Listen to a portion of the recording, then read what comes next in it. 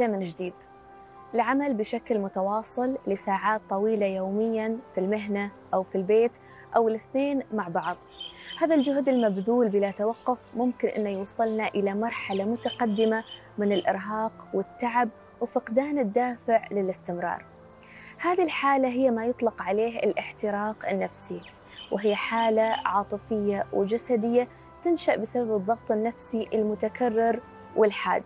وممكن أنها تأثر سلبا على نواحي مختلفة من حياتنا مثل الإنتاجية في العمل وجودة النوم والاستقرار النفسي.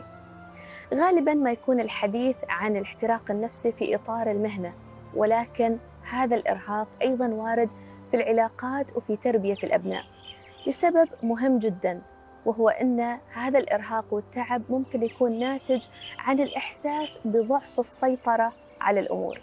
لما ما يكون في مؤشرات واضحة على التقدم في العمل أو في العلاقات أو لما نكون مضطرين للتصرف بطريقة ما تشبه شخصياتنا ونظرتنا للأمور.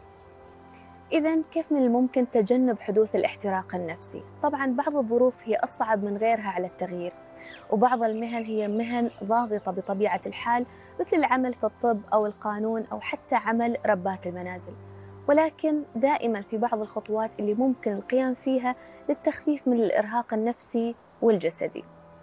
أولى هذه الخطوات هي محاولة التركيز على هدف معين مهم بالنسبة لنا في الأشياء اللي نقوم فيها مثل إحداث تغيير بسيط في حياة إنسان آخر أو تغيير العالم بمقدار بسيط كل يوم ولو بمبادرة بسيطة. مثل هذه الأشياء تخلينا نشعر بالدافعية والرغبة في الاستمرار في اللي نقوم فيه. أيضا نحتاج نرجع خطوة للوراء ونفكر في أولوياتنا. إيش هي أهدافنا الأساسية في الحياة؟ وهل الأشياء اللي نقوم فيها في الوقت الحاضر تنسجم مع هذه الأهداف أو لا؟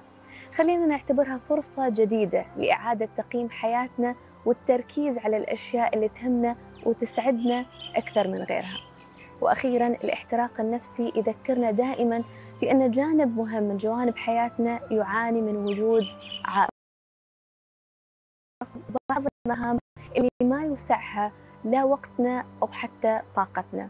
ونتذكر أن كلمة لا هي المفتاح لكلمة نعم لمسؤوليات والتزامات أخرى نرغب فيها أكثر من بقية المسؤوليات.